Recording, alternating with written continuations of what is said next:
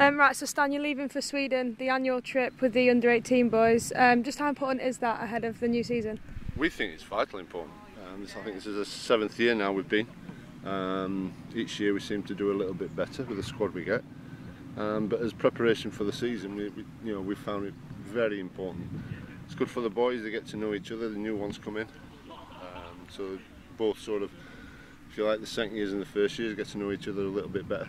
And uh, the quality of play that we come up against is, poses a lot of questions. So, from an education point of view, yeah, that's important as well.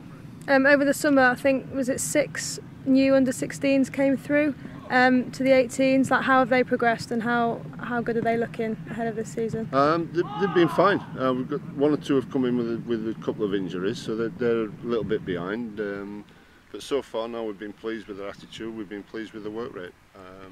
As we keep going on about Sweden now, it's uh, it's another step up for Sweden. Um, so you know they're they're looking forward to it as we.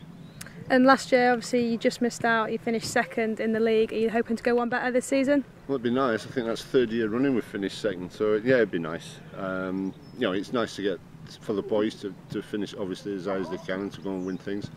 Um, the ultimate aim, obviously, for these lads is a professional contract. That's the most important thing.